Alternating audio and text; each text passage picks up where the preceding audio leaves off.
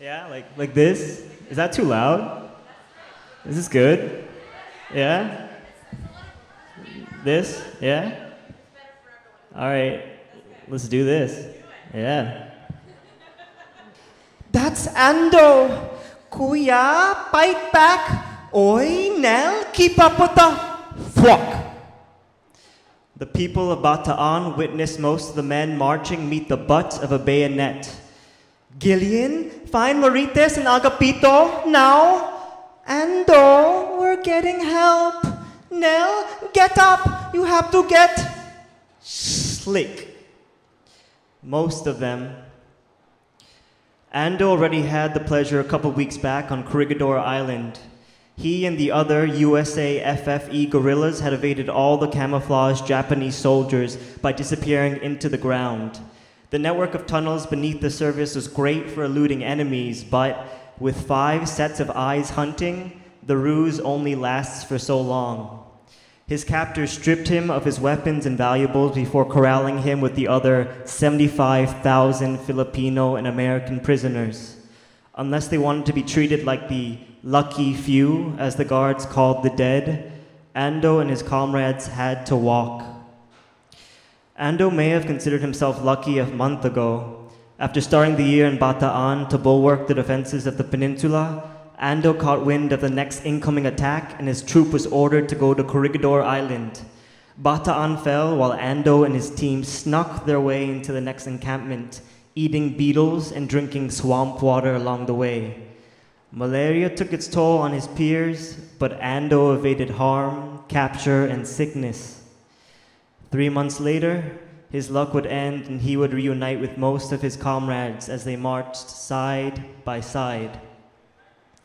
The dominion the Japanese had on Southeast Asia was painfully apparent while the hot, humid air weighed down the spirits of those watching.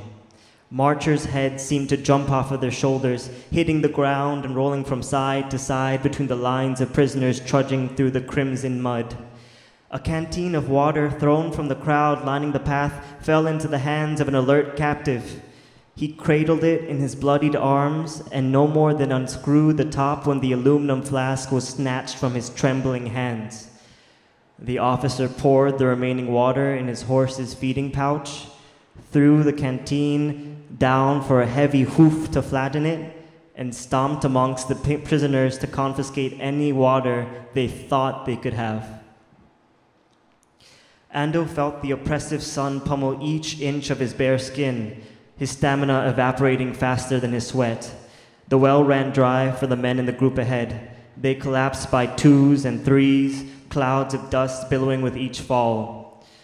Ando closed his eyes as he passed, but he could not ignore their dry moans and strangled breathing as they tried to hoist themselves back into motion. He looked up to see a handful of his captors walk in the opposite direction, Snapping his head forward before he became another example for his colleagues, Ando flinched at the sudden rat of pistol and rifle fire.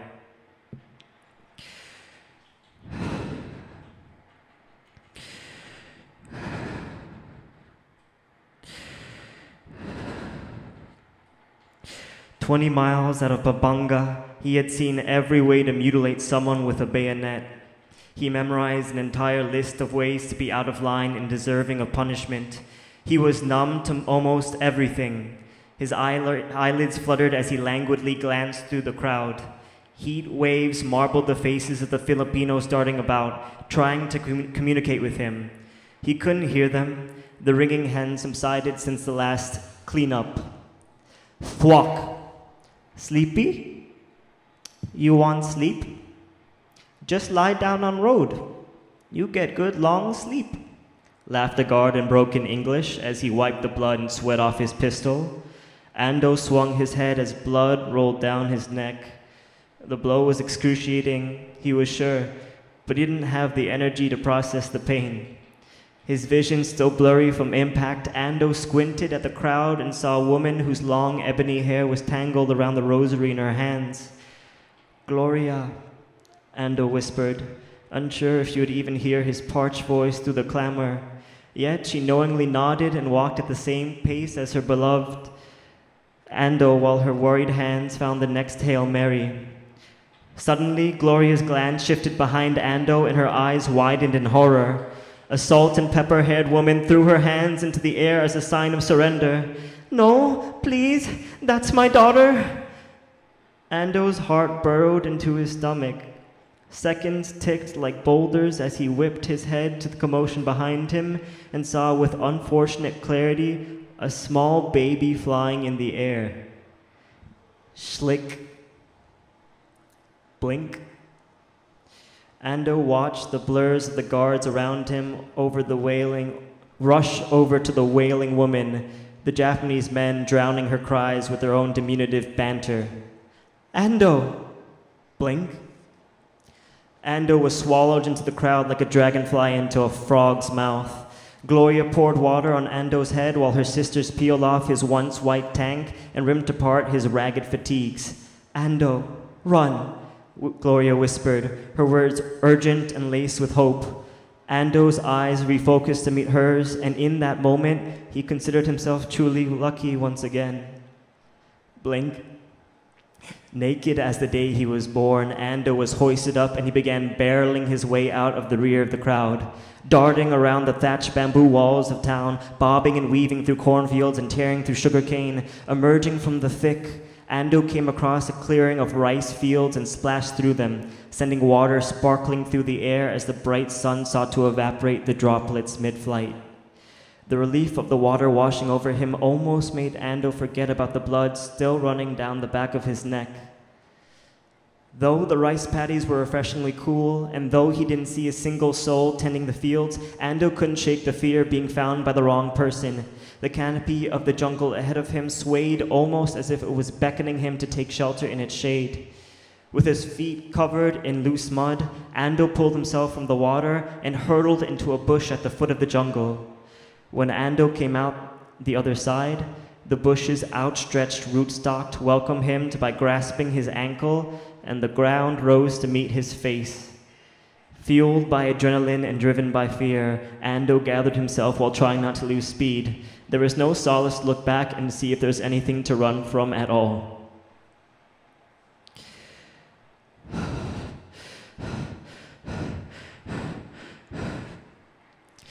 After six hours, all bushes looked the same. Ando saw less and less in front of him. Night was falling, and the dense treetops formed a ceiling of shadows. His stomach harmonized with the residents of the jungle singing to the stars.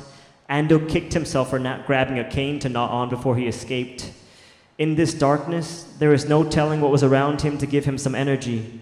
Maybe, he thought to himself, I should set up camp and forage for. Ando gasped as his next step didn't touch ground and sent him rolling down a steep bank peppered with jagged rocks and rough roots. His fall was punctuated with an echoing thud, and suddenly Ando could see the stars. They slowly danced in the darkness as Ando's eyes rolled to the back of his head. The jungle helped him find his camp for the evening and insisted he rest.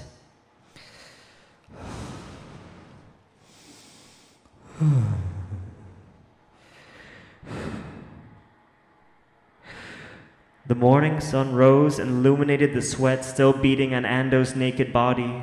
A young macaque waddled over and curiously probed Ando before using his stomach as a trampoline. It was only until the primate jumped on his face did Ando wake up in a panic, sending the curious creature down the path that wound out of the basin. He gathered himself as quickly as he could, but the lack of nourishment and the hydration added extra weight to his limbs. Hoping that his friend was a sign from God, he trudged after the macaque. His stomach grumbled and his tongue stuck to the roof of his mouth. His whole body throbbed, and he could feel his head begin to dizzy itself. He felt himself lose consciousness when a familiar voice came along. Ando, run!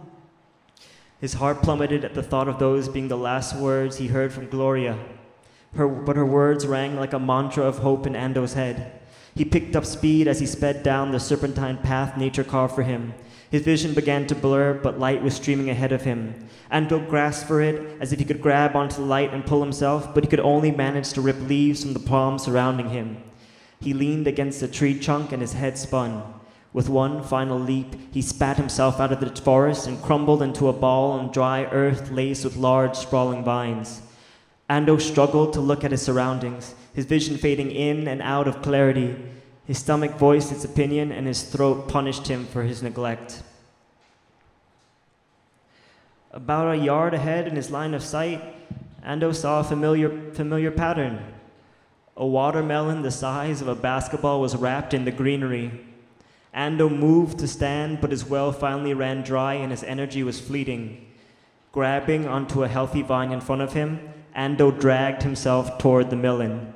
His mouth begged to water as sweat rolled down his head and neck, stinging the wound on the back of his skull. When he came close to the melon, he spent the last ounce of strength in him to rocket his fist through the thick, hardy rind. He removed his hand, now blushed with pink flesh and dripping with juice. He dug his other mud crested hand into the succulent center and brought his spoils to his lips. The deep red sweetness danced along his tongue, but the sun's relentless heat nauseated him.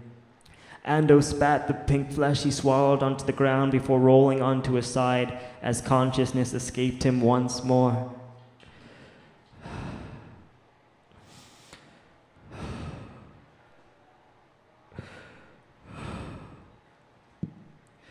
Ando, Ando,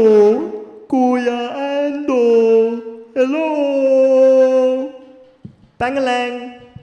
Kuya Ando, wake up. A carabao snuffed into Ando's face, her bell ringing directly into his ear. She stomped her hooves, which stirred the dust on the earthen floor around him. Ando took a strained breath in and wheezed himself back to life. Ando opened his eyes to a thatched roof and the sight of a beer bellied man with a snaggletooth smile sitting on the floor across the room from him. I, Sus Mary you're okay, the man said, throwing his weight forward to help him get to his feet. You're a glorious man, right? We thought you died. Well, you would have died if I didn't find you here. The man handed him a cup of water from a bucket, and Ando didn't hesitate to guzzle it down. Where am I? he asked, wiping the water on his lips all over his grimy face. My farm, Ando. Don't know how you got here because I usually have to ride a horse to get to Batayan. There was a silence as Ando tried to understand how this man can be so casual with war a couple towns away. Let me get you that watermelon you crushed. That fruit saved your life, eh? Was the best you ever tasted, or what? The man chuckled as he ran out the door. He returned with the crushed melon in his calloused hands. With the juice running down his forearms, he unloaded the fruit onto the floor next to Ando. Eat up, Kuya. Never leave a plate half full because you never know if that meal will be your last.